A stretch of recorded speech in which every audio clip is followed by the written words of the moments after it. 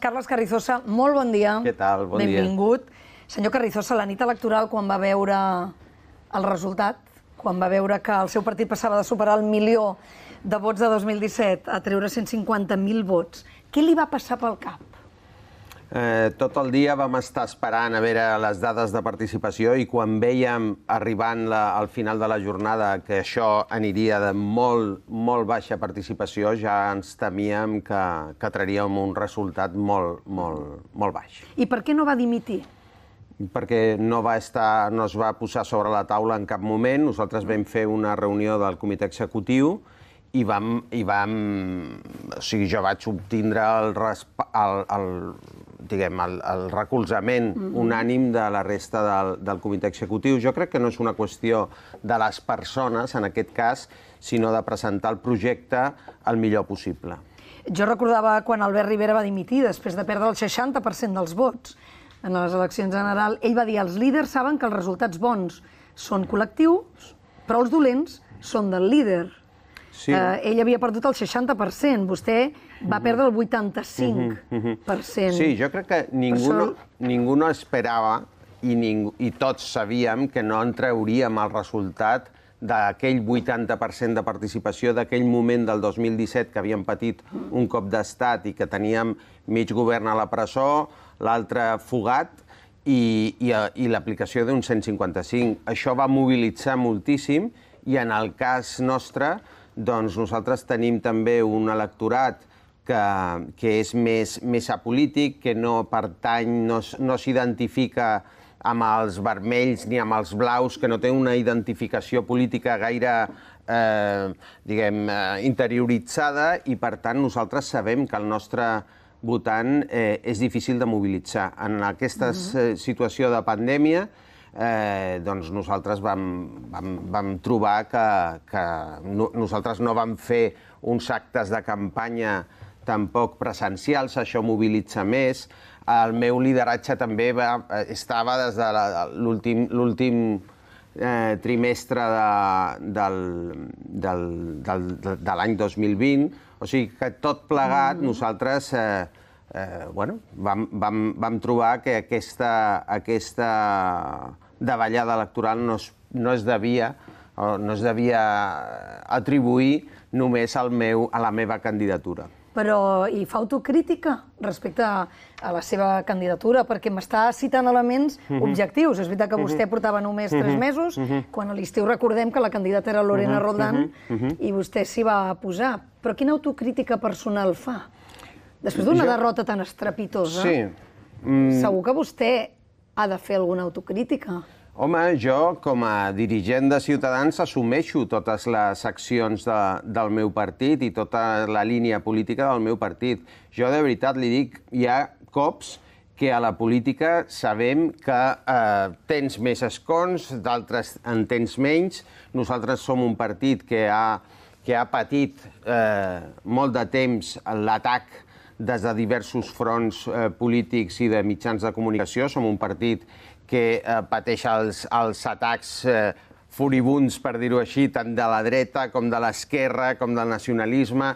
Som un partit que no, que no té... Eh, és un partit jove, és un partit lliure, que no té gaires recolzaments ni mediàtics, ni polítics, ni empresarials. Nosaltres mm, anem una mica a pit, a pit descobert, per dir-ho així.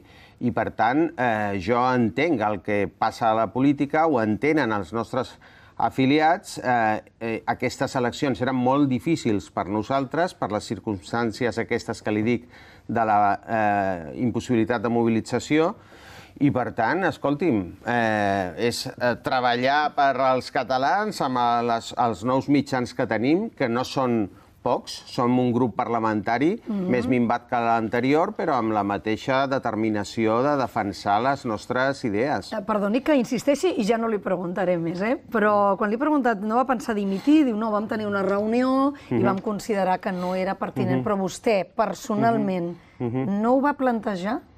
Jo no vaig... va plantejar a l'equip directiu, creieu que seria més convenient que jo marxés? Per descomptat, jo, eh, en el moment de la nit electoral, vaig parlar amb qui devia parlar i vaig, eh, vaig eh, mm, vaig dir que, que faríem el que, el que acordéssim i que, per tant, per la meva banda, jo haig de fer el que digui el meu partit. I, i després, valorant tot plegat, pues, eh, la dimissió no va estar en cap moment sobre la taula oficialment. Escolti, el, la corrent crítica Renovadors mm. li demana que convoqui un congrés extraordinari per triar un nou líder. Mm. Es planteja la possibilitat de convocar aquest congrés? Miri, eh, a Ciutadans eh, tenim un partit eh, molt cohesionat i, aquesta, i aquestes persones que vostè diu són les mateixes que en el, mate, en el darrer congrés no van treure cap escó cap compromissari, aquesta, aquestes persones no van, no van estar al, al darrer congrés perquè no tenen representativitat suficient per estar presents a aquest darrer congrés, que és ben recent. Eh, I, per tant, no fa ni un any d'aquest congrés. I, per tant, eh, la petició amb un partit polític d'un altre congrés no, no, té, no té cap recolzament al partit. O sigui que de moment no faran cap canvi, eh?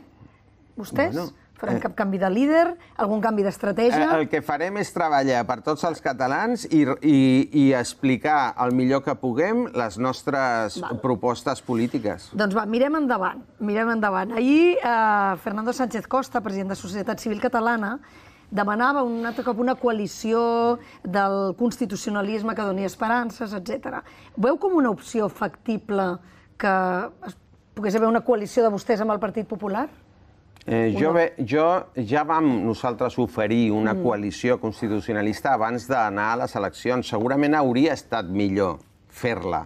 Hauria estat millor fer-la eh, perquè la, els resultats de les eleccions per tots els partits constitucionalistes no ha estat gaire florida.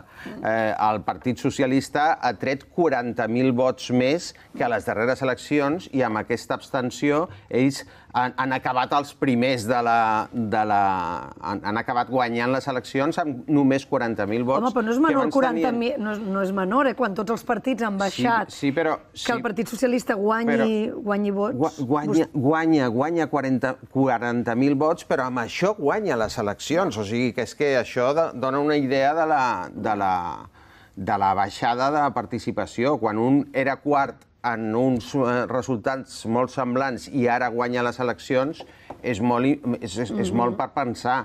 També el Partit Popular ha perdut molta eh, força, tenia, tenia quatre diputats i ara només té tres, ells pensaven ampliar, i jo crec que aquesta coalició de tots els partits constitucionalistes hauria estat com a mínim un, una motivació addicional perquè aquests constitucionalistes que es van abstenir i que va passar així perquè les poblacions eh, constitucionalistes s'ha notat molt una davallada de la participació que no era eh, igual a les, a les poblacions amb vot majoritari Però i ara d'aquí eh, endavant, perquè clar, alguns periodistes publiquen que Albert Rivera ha iniciat contactes amb Pablo Casado per tractar d'aquesta possible refundació del partit. Què en sí. sap d'això? Li consta que és així? A nosaltres ens consta que no és així, però malgrat això, eh, els mitjans ho repeteixen, perquè no sé per què ho, ho repetiu o ho repeteixen, perquè jo repeteixo el, el, propi, el que veig publicat. El senyor Albert Rivera mai no ha dit, no ha confirmat res d'això, no ho ha fet el PP, nosaltres ho neguem i, i, i, i malgrat això, a, això vosaltres em continueu preguntant. Jo uh, dic no. Molt bé. Uh, ahir el PSC va proposar un protocol per impedir l'entrada de Vox a posicions mm. institucionals mm -hmm. com la mesa del Parlament. També la CUP ha presentat un, un pacte antifeixista que en diuen que volen sumar Esquerra, Junts. Voldria saber si Ciutadans creu que s'ha de fer un cordó sanitari a l'extrema dreta. Eh, veig que vostè té més informació que jo, perquè diu que va proposar un, eh, el document aquest del Partit Socialista proposa fer un cordó sanitari a Vox. A l'extrema dreta. Ah, a l'extrema dreta, perquè no han dit Vox. Uh mhm. -huh. I nosaltres el primer que hem fet, ja ho hem fet, hem enviat una carta en resposta a aquesta carta del Partit Socialista demanant-li que, ens, que, que especifiqui a qui es refereix amb això de l'extrema dreta, perquè nosaltres també tenim allà al, al, al Parlament tenim a persones de Junts per Catalunya que estan fent eh, proclames i, i objectius polítics molt compatibles amb l'extrema dreta.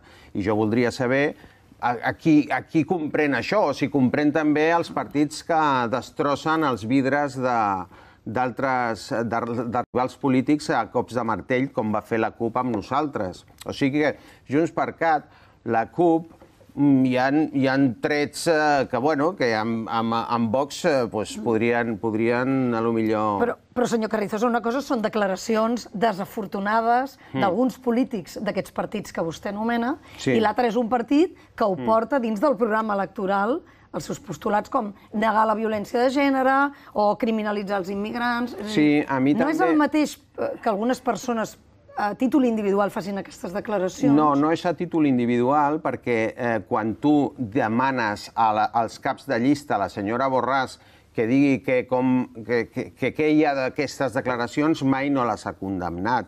I inclús podríem dir que els postulats propis de, la, de Junts per Catalunya avui, per, avui dia són més semblants a la Lliga Nord o a qualsevol o, als, o, als, o a l'extrema dreta flamenca que no passa amb una antiga Convergència i Unió. Per tant, jo crec que en la mesura que la líder de, de Junts per Catalunya no ha, no, no ha, no ha contradit aquells que diuen hem de netejar Catalunya d'espanyols, de, o Espanya és paro i muerte, o els andalusos i els extremenys són uns vagos, i, i, i ella mateix diu ella mateixa diu que, que els que parlen castellà aquí a Catalunya són instruments involuntaris de colonització lingüística, doncs a mi, escolti, això no em sembla...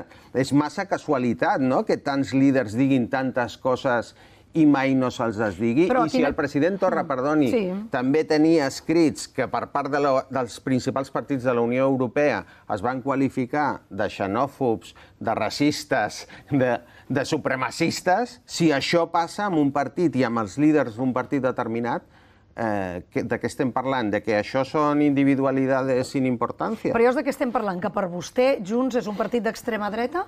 Per mi, eh, Junts té postulats i, i les persones que el representen tenen postulats compatibles per hispanòfobs, per exemple, o per supremacistes, o per constructors de discurs d'odi, que sí que es poden mm, relacionar amb discursos d'aquests. I jo, per tant, amb Vox no hi comparteixo moltíssimes coses, mm -hmm. I a mi no m'agrada un, un discurs populista de dretes, però aquest discurs populista de dretes ho tenim a Catalunya i jo crec que és responsabilitat de tots denunciar-ho, denunciar-ho, i que quan hi ha partits polítics que es fan fotos i que, i que i que participen en actes de senyors acusats de terrorisme, jo crec que això ho hem de dir també.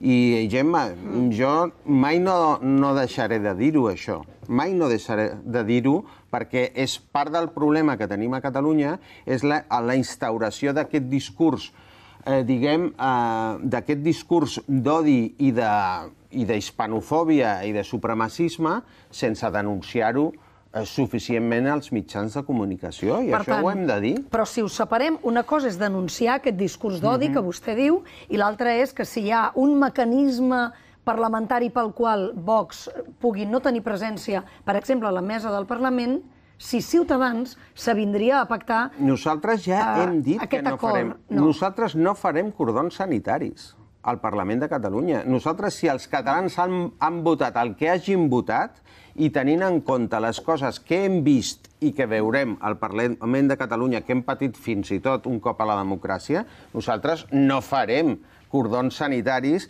i el que sí que farem és eh, rebutjar tots aquells postulats que vagin en contra de les llibertats de les persones i de la seva realització personal i, de, i, de, i, i em refereixo a, a, a que Ciutadans recolzarà sempre eh, totes les mesures contra la violència masclista, la llibertat dels col·lectius LGTBI, l'europeisme de la nostra formació i tot allò que ens diferencia i que ens distancia de, tants, de tantes altres forces polítiques aquí a Catalunya. Vostè lamenta que Vox hagi entrat al Parlament de Catalunya? Mm, Li sembla jo... una mala notícia? a mi em sembla que la gent ha votat a un partit eh, més de les ofertes electorals de, a Catalunya i sí, em sembla malament l'auge i l'auge dels extremismes i la polarització de la política a Espanya, de la qual nosaltres eh, som víctimes, en part, perquè quan la polarització creix, els centres, el centre, la moderació, els partits liberals, no troben un, un espai tan gran a la política catalana. I clar, em sap greu que hi sigui Vox, em sap greu que hi sigui Podemos, el populisme i la CUP, d'esquerres, em sap greu tenir aquí a la meitat de la població catalana amb un discurs excloent i, i, de, i de partició i de divisió a Catalunya i, i, i contra la resta d'Espanya també, i a mi sí que em sap greu això. I jo crec que ara són temps dolents per, per la, per, pels grups més moderats, per la convivència. Són temps, temps dolents i per això estem aquí a Catalunya amb aquesta preocupació que ens empobreix, que es veu cremant als carrers, que es veu eh, eh, com, com s'ataca la policia, a la policia i els polítics no la defensen. Sí, aquí tenim moments eh, difícils políticament. Vostè es té per, un, per una... Per, o, o creu que Ciutadans és un partit moderat? Clar que ho és. Ho és Vull perquè que, nosaltres que Ciutadans som... realment eh, ha tingut una estratègia molt contundent i molt dura contra, a... contra els enemics de la democràcia, contra els que han fet un mm. cop a la democràcia en aquest Parlament que tenim, sí, sí. Que, no, que tenim aquí. Que entenguin, no estic, sí, sí, sí, no estic sí, sí, criticant l'estratègia, sí, sí, sí, eh, però vull dir que Nosaltres... l'estratègia de Ciutadans verdaderament Clar, que... ha estat molt contundent, molt dura i en molts moments molt agressiva. Mm. I en mm. canvi vostès es tenen per un partit moderat? Miri, eh, jo crec que és absolutament compatible eh, la ideologia més moderada, sensata, pactista, d'aquells que pertanyen al centre polític que poden pactar amb el Partit Popular, amb el Partit Socialista, que es tenen la mà com ho van fer el propi govern de Torra en el moment de la pandèmia i vam dir aparquem les nostres grans diferències i treballem tots pels catalans. Això per mi és estar centrat i moderat a la política. I després, quan combateixes unes eh, tentacions eh, gairebé totalitàries de persones que deroguen el nostre estatut i la Constitució i encara diuen que són objecte de repressió en un país democràtic i que aquest discurs no els hi compra ningú a la resta del món i ara mateix el Puigdemont eh, li, li, ja tenim un informe jurídic de la, del Parlament Europeu que diu que li aixecaran la immunitat amb ella d'altres persones en la mateixa situ situació, doncs jo crec que és evident que nosaltres som un partit que quan defensem, si defensem alguna cosa amb contundència és la democràcia i la llibertat. I en això s'ha de ser contundent, crec jo, Gemma. O sigui, és la qüestió per nosaltres. Escolti, Salvador Illa, durant la campanya els va retreure que no es presentessin l'any 2017, que Inés Arrimadas no es presentés. Mm. Ara ella ha guanyat les eleccions, però clar, no està molt clar que es pugui presentar, perquè no li surten els números. Vostè creu que ho podrà fer? I si és així, els sis diputats de Ciutadans votarien a favor de la investidura de Salvador Illa? Jo crec que el senyor Illa ja sap que no podrà fer-ho. Això que deia, que retreia a la Inés Arrimadas que ella no va fer, ell ja sap que no podrà fer-ho i ja estan dient que la senyora Eva Granados hauria d'anar a, a presidir el Parlament. Mm -hmm. I ja és una mica un, el, diguem, el, la cortina de, de fum per, per, per demostrar que, que aquesta promesa electoral que ell va fer amb retrets a, a la Inés Arrimadas i a Ciutadans era senzillament mentida, perquè en un sistema parlamentari et pot passar el que li ha passat al senyor Illa i ens va passar a nosaltres, que guanyàvem les eleccions, però que d'altres grups parlamentaris eh, s'uneixen i ells poden formar govern i el president del Parlament proposarà a aquella persona que tingui el suport d'aquests grups parlamentaris i no al partit més votat. És el que passa als sistemes parlamentaris. Sí, sí. Jo, al, al senyor Illa,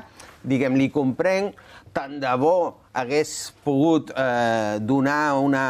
Nosaltres ho faríem, eh, si tinguéssim una majoria constitucionalista al Parlament, ja li dic, votaria el senyor Illa, votaria el senyor I a Eva Granados la votaran? És a dir, si Eva Granados... Nosaltres, per descomptat, si es poguessin fer majories constitucionalistes, tenen també el nostre recolzament. El que passa és que veurem si es pot fer, però nosaltres com és natural, abans eh, recolzarem a la senyora Eva Granados, que va, al qual el seu partit va guanyar les eleccions, que no pas a la senyora Laura Borràs, per dir-ho així, de Junts per Catalunya, o algun candidat d'Esquerra Republicana, i molt menys de la CUP. O la CUP. La CUP també vol optar a presidir la, la sí, cambra. Sí, a, això, fixis, vostè que em preguntava tant per si el cordó sanitari contra Vox i aquestes coses, eh, fixis que jo crec que els catalans patirem molt menys, molt més, els catalans patirem molt més eh, a la rellevància institucional de la CUP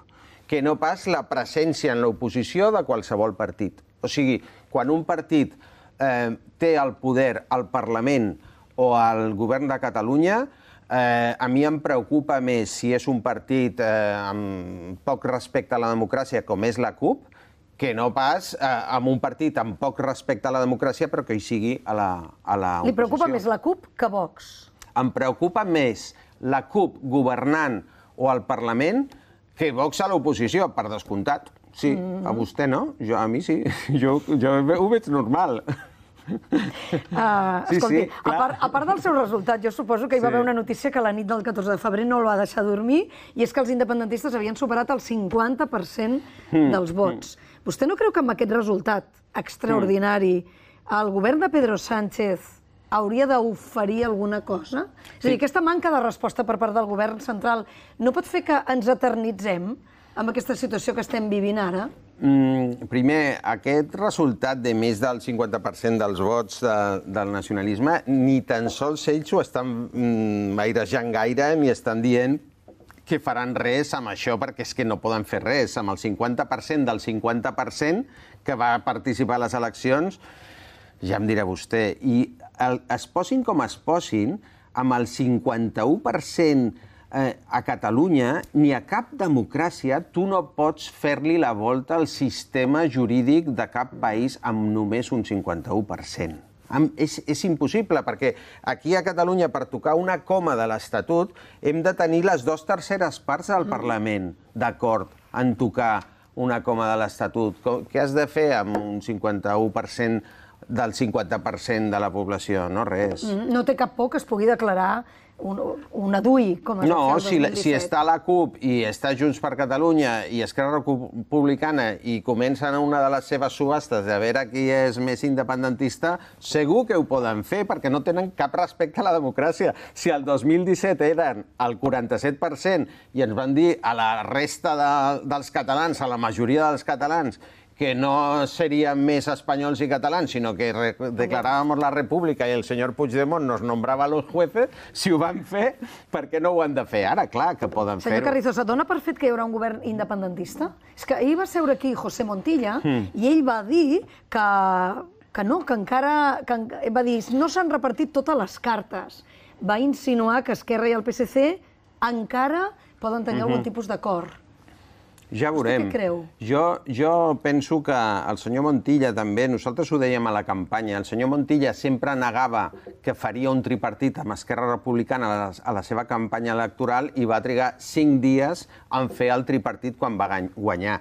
Nosaltres també dèiem el mateix mm -hmm. de, de, del senyor Illa i si el senyor Illa té oportunitat, ho farà. El que passa és que, malgrat que va guanyar les eleccions, jo crec que aquestes eleccions que ens va portar el Partit Socialista en plena pandèmia, que no volien retrasar-les i això ha afectat directíssimament a la participació, ha portat aquesta participació més eh, minsa que hem tingut, ha portat a una desmobilització constitucionalista que ens ha portat en aquests resultats. Jo crec que la inconsciència del Partit Socialista és en bona part la responsable d'aquests resultats amb aquesta participació tan poc representativa. Anem a imaginar que Pere Aragonès eh, governa, eh, és president de la Generalitat.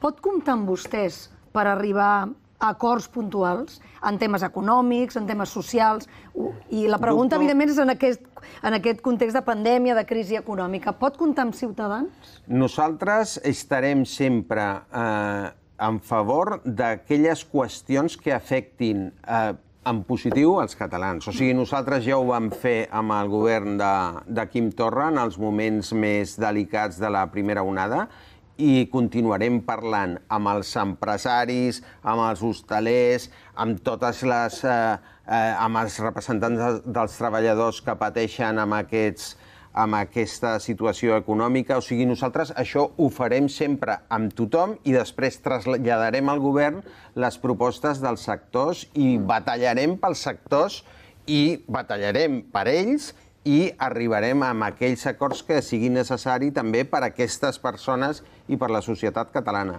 Uh, com valora que Ciutadans hagi quedat fora de tots els acords per renovar uh, Ràdio Televisió Espanyola o el Consell General del Poder Judicial? Mm.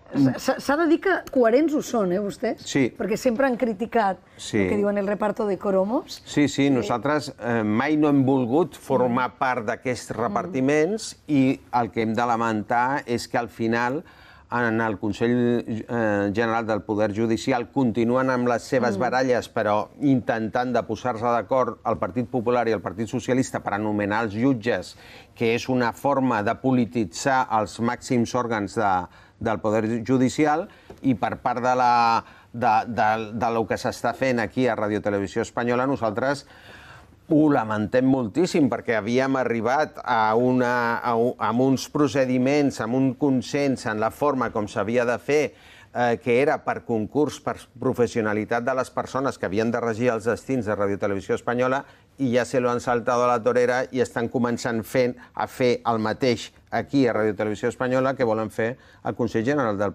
del Poder Judicial. Tant de bo aquí a la tele, igual que a TV3, poguéssim tenir uns òrgans de direcció que fossin veritablement imparcials políticament i molt professionals per mm. donar la, la, la informació i la programació més adient en unes cadenes públiques. Uh, senyor Carrizosa, una última pregunta. D'aquí tres minuts està convocada la roda de premsa del Procicat per anunciar si relaxa o no les mesures. Suposo que vostè estarà molt pendent, perquè a més a més Ciutadans sempre en parla del, del drama econòmic que estan patint els comerciants. Eh, creu que s'ha de relaxar les mesures? Creiem que sí que s'han de relaxar. Eh, hi ha, per exemple, els complexos comercials han patit moltíssim, hi ha moltes persones que treballen allà i aquí a Catalunya sempre estan mirant els nostres comerciants, els nostres hostalers, estan mirant què fan a d'altres comunitats autònomes, per exemple a Madrid, on governem nosaltres, que els resultats de la pandèmia són molt semblants i les mesures econòmiques són molt menys restrictives i, per tant, afecten molt menys el dia a dia de, la, de les persones. Ens miren, miren amb enveja allò que estem fent eh, a, a Madrid des d'aquí, des de Catalunya. I, per tant, nosaltres qualsevol mesura que relaxi una mica la pressió econòmica sobre diversos sectors eh, creiem que són absolutament necessàries. Molt bé, senyor Carrizosa. Té ganes de tornar al, al Parlament? Sí, nosaltres... Té ganes de quatre anys som, més de legislatura? Som molt lluitadors. Tant de bo, tant de bo la, la legislatura eh, sigui productiva pels catalans, perquè em temo que aquí a Catalunya perdem massa temps parlant de les coses que només interessen a, un, a uns quants, sinó del que interessa a tothom. Molt bé, Carlos Carrizosa, gràcies. Gràcies a vostè.